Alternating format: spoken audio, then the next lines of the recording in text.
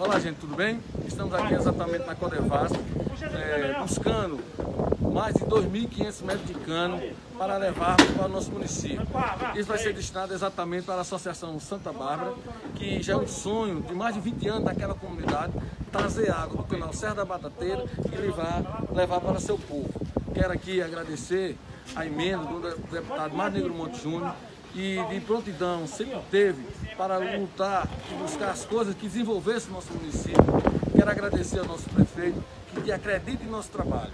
Quero agradecer ao nosso povo e dizer, meu povo, acredito em vocês, acredito na agricultura, acredito na, na piscicultura e vamos em frente. Com, com isso aí e outras ações, com certeza teremos logo logo, bem breve. Muito obrigado, meu Deus, por tudo. Logo logo a gente vai estar fazendo essa adutora, que é o sonho de muita gente. Muito obrigado, meu Deus.